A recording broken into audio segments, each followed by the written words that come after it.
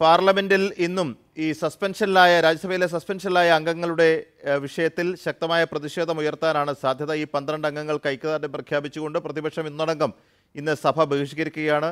ബഹിഷ്കരിച്ചതിന് ശേഷം ഗാന്ധി പ്രതിമയ്ക്ക് മുമ്പിൽ പ്രതിഷേധ ധർണയും ഉണ്ടാകുമെന്നാണ് മനസ്സിലാക്കുന്നത്. മാപ്പ് പറയില്ല എന്ന അംഗങ്ങളും മാപ്പ് പറയാതെ പിൻവലിക്കില്ല എന്ന് രാജ്യസഭാ അധ്യക്ഷൻ നിലപാടിൽ ഉറച്ചു നിൽക്കുകയാണ്.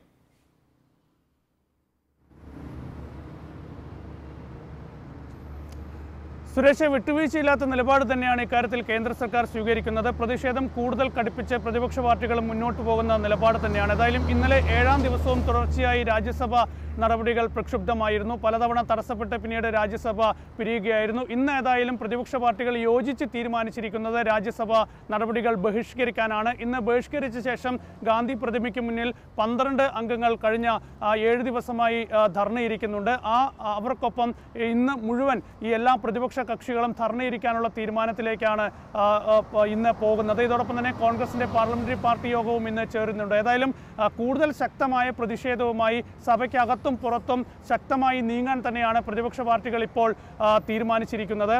ഇന്ന് ഇന്നലെ ടി ആർ എസ് ഈ സമ്മേളന കാലം മുഴുവൻ ബഹിഷ്കരിക്കാനുള്ള തീരുമാനം ഈ വിഷയത്തിൽ എടുത്തിരുന്നു ഏതായാലും ഈ സസ്പെൻഷൻ നടപടി പിൻവലിക്കാതെ രാജ്യസഭാ നടപടികൾ മുന്നോട്ട് പോകാൻ അനുവദിക്കില്ല എന്ന നിലപാടായിരുന്നു ഇതുവരെ സ്വീകരിച്ചിരുന്നതെങ്കിൽ ഇനി സഭ ബഹിഷ്കരിച്ചുള്ള കൂടുതൽ ശക്തമായ സമരത്തിലേക്ക് തന്നെയാണ് പ്രതിപക്ഷ കക്ഷികൾ നീങ്ങുന്നത്. ഇതോടൊപ്പം തന്നെ ലോക്സഭയിലും ഈ ഈ ഈ വിഷയ ഇത്തരം വിഷയങ്ങളിൽ കൂടുതൽ ശക്തമായ പ്രതിഷേധം ഉയർത്താൻ കർഷക പ്രതിപക്ഷ പാർട്ടികൾ തീരുമാനിച്ചിട്ടുണ്ട്. ആ, കൂടുതൽ ശക്തമായ പ്രതിഷേധത്തിലൂടെ സർക്കാരിനെ കൂടുതൽ പ്രതിരോധത്തിലാക്കാൻ തന്നെയാണ് പ്രതിപക്ഷ കക്ഷികളുടെ തീരുമാനം. ഇന്ന് പാർലമെന്റിന് പുറത്ത് വലിയ പ്രതിഷേധ ശബ്ദങ്ങൾ തന്നെയായിരിക്കും ഈ വിഷയത്തിൽ ഉയരുക.